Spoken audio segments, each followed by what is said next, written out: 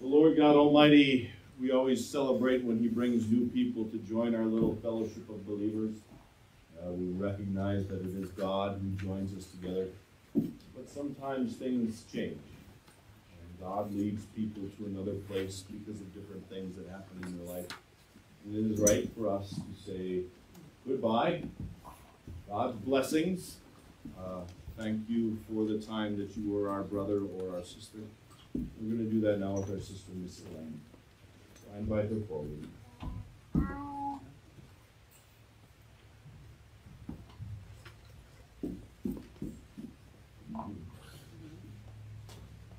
Dearly beloved in the Lord, through his gracious plan, Jesus brought you to us to be a part of this congregation, to hear God's word with us, to grow in faith with us, and to become faithful servants with us.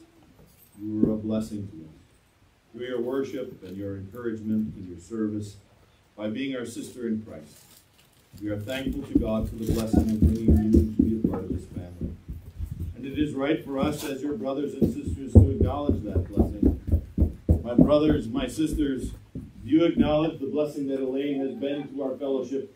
If so, then answer yes with thankful hearts. Yes. Yes, with thankful hearts. And now the Lord is leading you to another place. God will not leave you, and He will not stop blessing you. David sings of God's presence in Psalm 139 I rise on the wings of the dawn. I settle on the far side of the sea. Even there your right hand will guide me, your right hand will hold me fast. You will be a part of a new fellowship.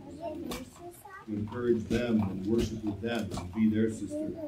Continue to let your light so shine before them that they may see your good deeds and praise your Father who is in heaven. It is right for us as your brothers and sisters to pray for God's blessing in your new home.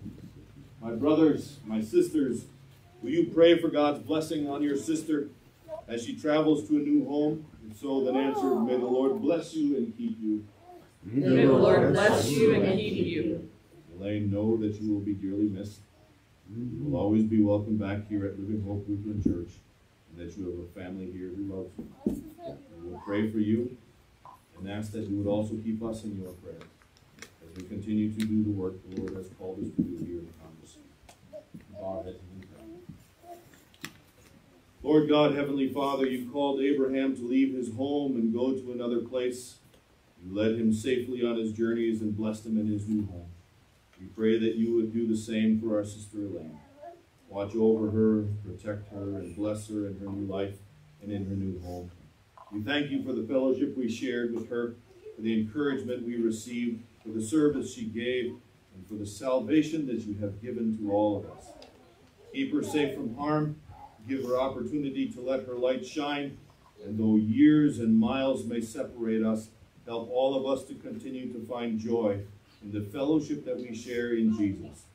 Through Jesus Christ, your Son, our Lord, who lives and reigns with you in the Holy Spirit, one God, now and forever. Let God's people say, Amen. Amen.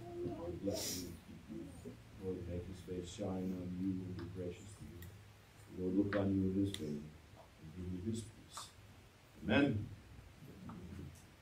Now I invite you forward to say goodbye to our sister. God's blessings. Seriously. okay, I started this last Thursday.